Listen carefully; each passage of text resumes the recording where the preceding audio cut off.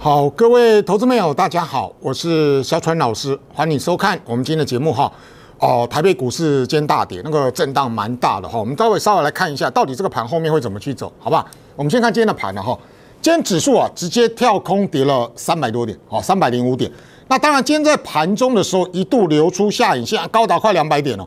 那结果呢，目前的盘呢，大概是跌了一百五十一点。好，那各位我们仔细看哈。今天台北股市跌下来，你会发现一个现象哦，其实今天到收盘的量哦，它蛮大的，大概也差不多有四千亿以上。那今天一跌下来之后呢，好，目前这条月线应该是盘中有跌破嘛，哈，目前是有点岌岌可危嘛，对不对？好，那台北股市走到这里，我们现在怎么去做分析？各位我们注意看哈，其实今天台北股市为什么会跌？大家都应该知道嘛，因为昨天美国的科技股都在跌嘛。那美国的科技股为什么会跌？好，各位你注意看哈。昨天，Netflix 公布上季的营收啊，令人失望。好，收盘跌了八趴多嘛。然后呢，特斯拉呢，它也是公布财报嘛，就暴跌快十趴，有没有？好，当昨天这些啊比较，这都不是小股票哈，因为当特斯拉跌了快十趴，Netflix 跌了八趴多，这就带动什么？美国的一些那个全职的个股，他们全部都在跌，好，全部都在跌。比方说亚马逊呢，跌了快四趴。Meta 呢也是跌了四趴多嘛，那大家比较关心的像 Nvidia 呢也跌了三趴多嘛，对不对？好，除了这个之外呢，再来就是昨天台积电法说嘛，哈，那法说的结果呢，二度下修今年的营收，好，所以呢，台积电昨天跌了五趴多嘛，那台积电都跌下来了，所以呢，半导体相关的个股也都全面都在跌，那像什么超微 MD 啊，跌了五趴多嘛，对不对？爱斯摩昨天就已经跌五趴，今天又跌五趴多。那跌最深的是联电，跌了六点二趴。OK，好，那各位，其我刚跟你讲的这些东西啊，昨天盘中，昨天礼拜四盘中哦，在十二点半这个时间点，我就已经告诉各位了。真的，我昨天是不是这样跟你讲？你看嘛，哈，昨天爱斯摩它公布财报嘛，我说财报优于预期啊，可是呢。他昨天就已经先跌了五趴多嘛，那昨天呢，在这个时间点的时候，我就跟他讲啊，我们虽然看到的 Netflix 或者是呢，呃，特斯拉，结果呢，昨天在盘后的时候都先跌了五趴多嘛，对不对？那再加上呢，台积电的营收，我说句实话，这个营收我们之前也跟大家讲过啦，七月十七号我就说了，如果你去看那个手机的晶片啊，真的是库存很多啊，我就说台积电的法说这边就写嘛，什么孔传在下修猜测。我说台积电这里哦，应该照理说了，你说好消息不多啦，只要一点一有坏消息，这地方一定是对股价有影响，对不对？所以这些东西我们在前昨前昨天的时候，我们都已经跟大家做过分析了。所以台北股市你今天看到哇，美股跌，台股跌，很合理啊，对吧？我敢说啊，今天到收完盘之后啊，这样像假日这几天呐，你要跟他，因为看到很多老师跟你讲说啊，你看吧，就因为是那个什么 Netflix 啦，或者是什么台积电啦，或者是什么特斯拉的问题啊。我跟你讲，今天再解有什么意思？我我昨天就已经告诉各位了，啊，你今天再去解，不过是看报纸而已嘛，对吧？所以我就跟他说啊，那种分析对你没什么帮助了。更何况呢，昨天就知道了答案，结果呢，你昨天看到一堆老师还是跟你讲啊，你看我的股票涨停板呢。对吧？好，那所以我要跟大家讲哈，当台北股市这个地方爆大量开始震荡之后，现在目前的月线它是岌岌可危嘛，对不对？我问你啊，涨停板都你的啦，创新高的都是你的啦。你看到这种盘，我问你啊，你相信你现在手上的个股是一手好牌吗？你想嘛，有可能吗？好啦，涨停板都你的嘛，创新高都是你的嘛，啊，你都不会赔嘛？跌的都不是你的，我就说这怎么可能嘛？你台北股市这一波这样子跌下来，而且是爆大量跌下来啊！虽然没有让你看到说啊跌得非常深啊，可是再再怎么样，你现在这个时间里，你不可能满手好牌啊！你只要有一档个股赔得多的话，你三四档你都搬不回来啊！所以呢，有的时候有些老师的讲法，你可能稍微思考一下啦，因为你要的是获利嘛，你要怎么赚钱啊？如果说盘你都看不懂，昨天就知道的答案，然后呢，你都没办法去做分析，我问你啊，你真的能够赚钱吗？哦，稍微思考一下。好，我们现在来看了哈，今天台北股市这样子跌下来之后，对于后面的走势，我我们要怎么去做研判？好，我们来仔细看哈。昨天我就有跟各位讲过一个重点哦，就是说台北股市到这个时间，你可能要留意一下哦，那个整个筹码面的变化，什么意思？昨天礼拜四我就说了，月线是融资大套牢的分水岭，对不对？好，那今天台北股市呢盘中有破月线嘛？那今天有稍微啊留下影线，目前是守在月线位置区嘛？可是我要跟大家讲啊，你这种震荡盘，你现在套牢的越来越多，什么意思？你注意看哈，昨天我们在跟各位分析的时候，我就说啊。台北股市从六月十三号到现在为止这一段你会发现到啊，外资卖了五百多亿，投信卖了两百六十几亿，啊，自营商是买两百七十四，不过它是比较偏短线嘛。那这里买最多的是融资啊，你现在融资买了两百八十七亿啊，因为到昨天为止的时候，你就会发现呢，昨天的时候融资还增加二十三点八亿嘛，再创新高嘛。那你今天这个震荡下来，老实讲了，你昨天去买的到到今天为止这样震荡下来，其实还是套牢居多嘛。对不对？好，你你现在在这一段哈，到目前为止，你已经将近有两百八十七亿的融资卡在这个地方嘛，对不对？那当然，你会说，老师啊，那个前面低档买的这个地方还没有赔钱呢？啊，我有跟大家讲过，我昨天有说了嘛，因为这个地方低档买的融资只增加五亿啊，这地方融资也只增加五亿啊，这地方总融资也只有增加六亿啊。好，就算这边大跌，融资也只有增加六亿嘛，对不对？你融资增加最多的时候呢，是在哪里？是上来的时候啊，这增加四十八亿，有没有？增加二十六亿，这增加十五亿。也就是说，在这个低档的时候，融资增加不多，可是涨上来的时候呢，融资一直买，一直买，一直买。好，那你如果说我们去扣除了，扣除这这个差不多有二十几亿的话，扣除大概是这低档买的二十几亿，到目前为止哦，这一段这一段呢。现在已经差不多有两百六十亿左右的融资都是套牢。这一段过程里面，你这有两百六十亿左右的融资哦，你现在都没有讨到便宜哦。对啊，因为现在都在高档追啊，对不对？好，那这两百六十亿它所代表的意义在哪里？我昨天怎么跟他讲的？你看嘛哈，我说了哈，你台北股市如果以这整段。从五月十六号开始嘛，对不对？那时候台北股市开始攻一段嘛。五月十六号之后呢，到现在为止这一段融资总共增加四百零二亿。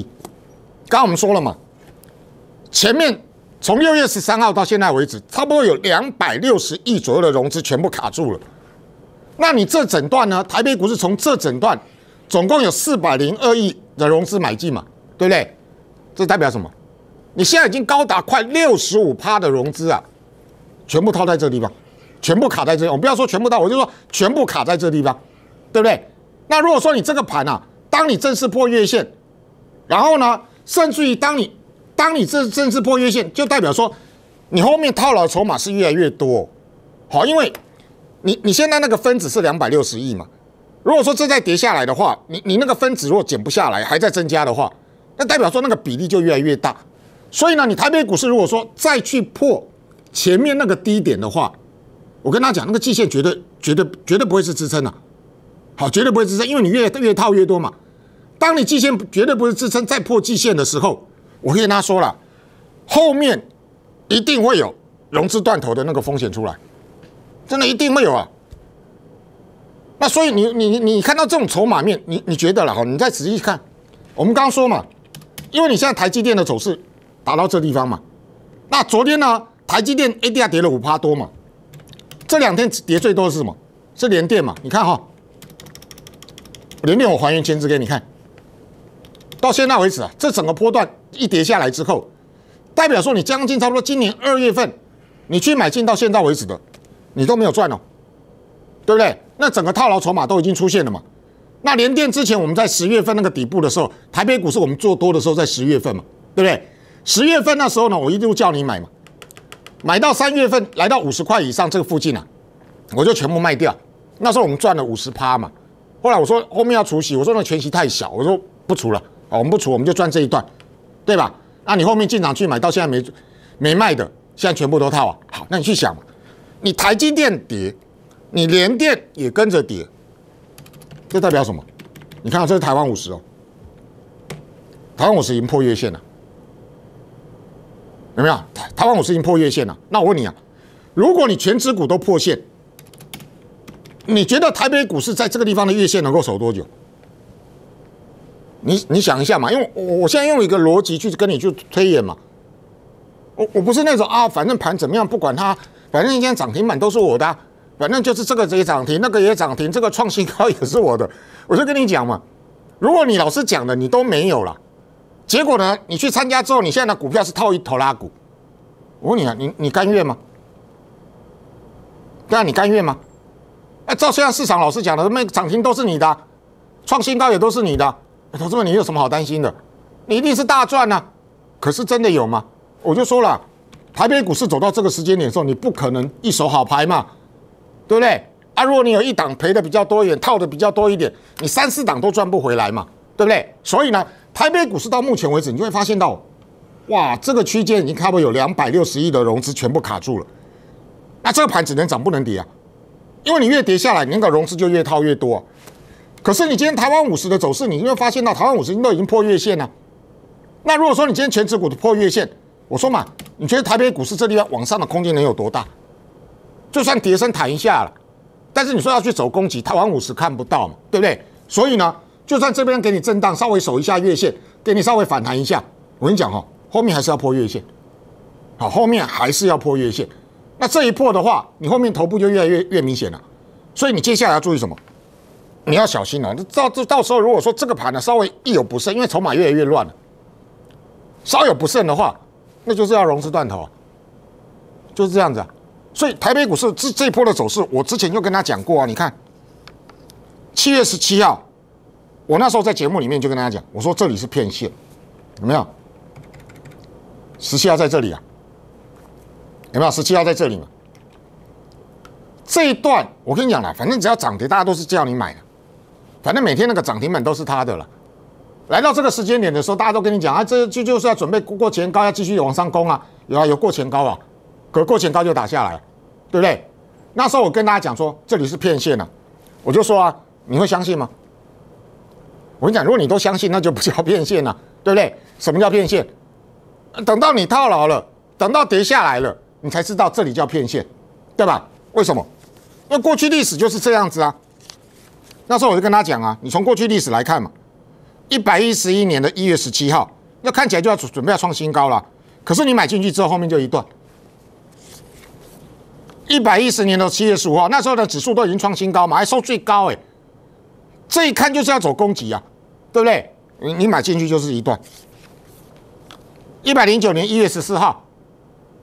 也是一样嘛，将近已经快要创前高了，而且还收最高哎，这准备要上去了，结果你一买，后面就一段。你看那个一百一百零八年五月三号，也是一样，那时候收最高啊，都创高了，继续要往上攻啊，不买来不及啊，结果后面都是一段，是不是？所以我那时候我就说啊，我们就看嘛，啊，到底是骗你还是骗我？那我问你嘛，到现在为止是骗你还是骗我？啊，指数空间还不是很大，你或许你还不相信呢。好，那没有关系，我们再慢慢看哈。因为这个骗线的状况，它越来越明显了。如果你会发现到，哇，最近买进去好像都在套，那就叫做骗线了。好，那接下来呢，怎么看？我们来仔细看哈。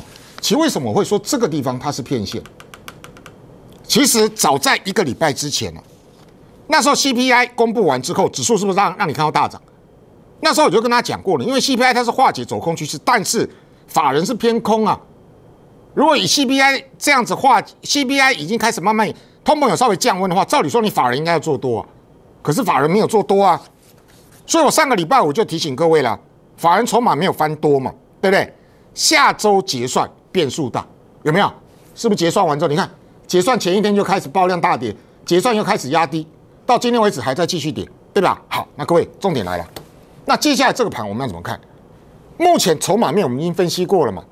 因为你上面也越套越多啊，你看不能跌哦，你越跌，你上面那个分子会越来越大，就会越套越多。当你越套越多的时候，你那个大家都套牢的时候，那个我问你啊，法人怎么会去帮你解套？从过去历史都是这个样子啊，每次融资都几乎都在高档增加，然后呢，增加完之后呢，你说要再拉，法人都一定会有一个清洗筹码的一个动作在。那现在最怕就是那个洗的太太用力的话，那都会有融资断头的疑虑啊。好，那接下来呢？我们来仔细看哦，接下来就是筹码，就是整个筹码的问，就是那个结构的问题哈。台北股市今天跌停板的加速不是很多，不是很多，对不对？昨天我就说过了哈，今天这个我我今天要用这个侧标，对吧？好，昨天说那个套牢的已经一堆了，所以呢，我预计下周跌停板的股票它会开始一路扩大，好，它会开始慢慢开始扩大。好，为什么会这么讲？同你去想嘛，到现在为止，说句实话，很多股票哈已经没有办法解套，你要怎么解？我问你现在怎么怎么解？这个股跌下来之后，你看融资都在创新高啊，你要怎么解？你看这些股票啊，一路跌下来之后，你买在高档，现在都没办法解哦。现在跌下来之后，你会发现，哎，融资都在一路增加，那在干嘛？那都在做摊平，对吧？好，那注意看嘛哈，甚至于连今天那个国巨啊，你看我那时候已经讲很久，哦，之前被动元件涨的时候呢，大家都说哇，被动元件很好，大家都有，跌下来都不见嘛，不见到现在为止，你看它已经开始创破断低点了。那这一类型的个股，你会发现到很多啊，这些股票都一路跌下来啊。对不对？你看那融资都在增加啊，这波这先跌的细粒，到现在为止，你也会发现啊，都都谈不上去啊。其实这些个股到目前为止，其实都已经出现什么？有一些融资断头的压力都已经出来了，有没有？都已经出来了。你会说老师啊，不不不对啊，今天跌停板加速没有没有很多啊？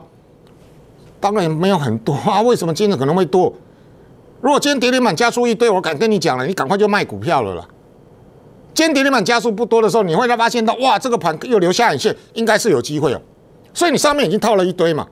当你套了一堆之后呢，然后你现在赶快想办法去做摊平，对不对？所以今天会留出下影线也不是没有道理，因为今天跌停板加速被控制住啊。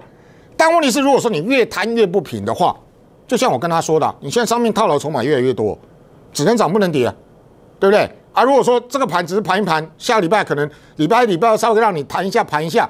然后呢，让你觉得哎，还是有机会，赶快继续买，再破一次月线。我跟你讲，那个整个跌停板加速会一路扩大。为什么我这么说？因为我们现在发现到啊，全职的个股它破线嘛，破线之后呢，也顶多是跌升弹而已了，对不对？那更何况呢，现在有些股票也让你看到什么？它开始有些个股都开始在盘头了，哦，都开始在盘头了。有些个股都这样子啊，那盘一盘都已经开始慢慢下来嘛，对不对？好，所以呢。全值就叫做占有全值的股票，现在也没有让你看到什么攻击了，大概就是那么几档。但你会说啊，这种区间盘应该都是涨小型股。好，我是建议你哈，小型股你可能要注意一下哈。我们来看哈，为什么？你看哦，五月五号的时候，那时候我们跟大家预告说，那时候礼拜五嘛，我说下周小型股会一会有一堆股票跌停板，有没有？你应该记得了，你到时候你再去 YouTube 里面看。那时候我们跟大家预告的时候呢，结果呢，隔一周之后，就说隔几天之后，你看跌停板加速一路扩大，有没有？你还记得吗？那时候在五月份的时候都在涨什么股票？军工啦，什么碳权啦，什么那个生技啦，对不对？我我拿一档个股去做比例，拿一档个股来看你就知道。五月份嘛，四五月份那时候是不是去涨军工的过个股？雷虎你一定认识嘛，对不对？五月份见高点之后，到现在为止，它没有高点哦，对不对？好，那各位，那时候我就跟大家讲啊，那时候市场上所有老师都跟你讲什么军工啊，什么碳权啊，什么生技。我跟你讲，那个时间点根本没有一个老师跟你讲 AI 了，因为那时候题材都还没有出来啊。结果现在大家都说，你看 AI，我早就跟你讲，那都是骗的，好不好？那时候我跟你预告说，小型股会一堆股票跌停板，结果跌停一堆股票跌停板嘛，对不对？五月九号的时候，我就跟他讲，那就已经是主力出货啊。小型股半年之内没有办法解套，还记得吧？那时候我是这样跟你讲嘛。你看嘛哈，到现在为止你要怎么解套？你买在上面，现在没办法解套啊。那时候我为什么会这样跟大家说？因为那时候我跟各位讲过哈，有一个叫做属于内部人的证交法里面有一个内部人的条款，你在半年之内你买卖股票，你利益要还给公司啊。是不是应该还记得了哈？好，那各位，我跟你讲哈，我为什么说就算盘震荡，你不要去买小型股？为什么？这是今天最新的新闻。七月二十一号，台股内部人短线交易变多。你看哈，金管会再市警，政企局的主秘了哈，他说哦，近两年观察，只要股市一弱弱，内部人短线交易的情况就变多。所以他提醒各上市公司的内部人不要去触法令，否则公司有权追回该利益，有没有？这七月二十一号的，对吧？五月九号的时候，我跟各位讲过内部人的交易法则嘛。按现在行情看起来不错啊，结果呢，很多人在偷做啊，所以呢，金管会已经开始跟你示警哦。那我问你嘛，有些个股主力或者是公司派卖卖掉之后，他现在再去做，他是犯法的哦。所以说啊，老师啊，这个盘那边走震荡都是涨小型股。我跟你说了，金管会已经正在查了啦。所以呢，之前那些高档啊，那个主力已经出大股东已经出掉的股票，我跟你讲，下个礼拜还是要继续跌，搞不好他还他的卖压还会加重。为什么？因为金管会已经在查了嘛，你内部人交易啊。那所以呢，小型的个股，我跟你讲，下个礼拜你要预防那个跌停板加速还是一路扩大，懂我意思啊？啊，我知道，我我今天讲的不是你喜欢听的啦。因为到现在为止，你会发现到啊，台北股市之前爆大量之后，这地方已经开始出现一个比较大的震荡嘛。所以你在这一段期间里面，你买几乎也没赚钱啊。啊，当然啦，投顾老师都赚了，涨停都是你的啦，创新高也是你的啦。我就说这不可能嘛，你怎么可能会去拿一手好牌？他们只是为了要收会员而已啊。到昨天都还是股票涨停板呢，所以说这种做法只是吸斗又卖吸平斗你啊了，真的到这个时间点，你说嘛？啊，你去参加之后啊，老师就跟你讲啊，你看我的股票涨停板，你看我的股票创新高，你看我大赚，结果你都在赔钱，你你怎么会甘愿？所以，我我还是建议各位了哈，因为我们在高点的时候，我都是提醒你不要乱追，因为这叫做骗线。全市场没有一个老师呢看得出来这是什么叫做骗线，每天都是要创新高啊，所以呢，你都买在高点了。到现在为止，已经有两百六十亿左右的融资全部卡在这里哦。下个礼拜如果说哎这地方稍微有点反弹，我是建议你赶快把持股出清了，因为你要预防哈那个融资会不会有那种断头的压力？当有融资断头压力，我可以跟你说，你买什么都没有用。为什么？那叫做覆巢之下无完卵，懂我意思啊？好，我我是建议呢，现金多留着，等到那个真的低档到的时候，你可以大捡便宜，你可以赚更多啊，这样会不会比较好？好，这些东西你去慢慢思考，好不好？今天我们都是希望我可以帮得到你。那如果说你能够认同我们的方式，你觉得需要我帮了你的，你再打电话进来，好不好？我们稍微休息一下，待会回来。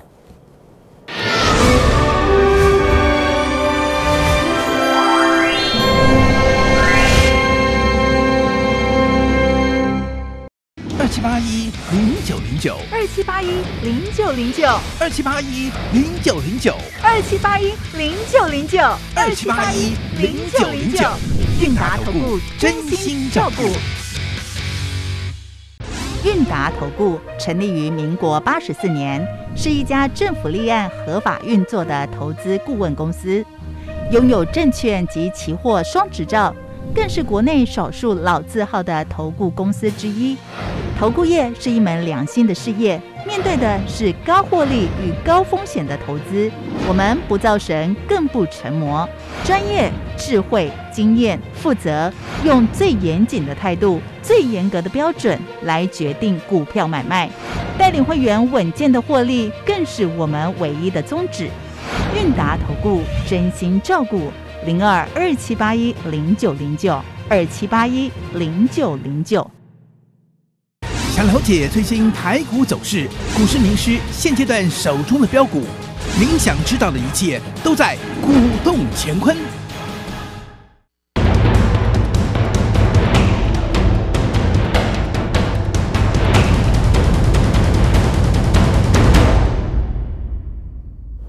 好，欢迎回到现场哈。台北股市今天大跌，不过呢，当然了，今天台北股市也流出下影线了哈。不过我们刚用筹码的角度，我跟大家分析过，这个。危机没有解除，而且你是筹码是越来越乱。好，如果说台北股市如果说再破一次月线的话，我预计下个礼拜那个跌停板加速会开始扩大。好，我刚也说过了嘛，哈，内部人交易已经开始在查了，哦，今晚会已经在查一些小股票了。好，所以有些个股这个时间点哈，不是你买，而是你要想办法说把那个资金留下来。当稳定的时候，你有更你你才有钱去买更低的股票，你才能够真的赚得到钱了。好，我们的分析只是无非是把你辛苦赚的钱。当做是我的责任了，好，不要说你辛苦累积的钱在这边赔掉了，那就很头痛了哈。希望我的分析能够帮得到你，好不好？那你需要我们帮忙的，欢迎你再来电咨询。我们礼拜一见，拜拜。本投资公司与所推荐分期之客也有大证券无不当之财务利益关系。以往之绩效不保证未来获利。本节目资料仅供参考，投资人应独立判断、审慎评估并自负投资风险。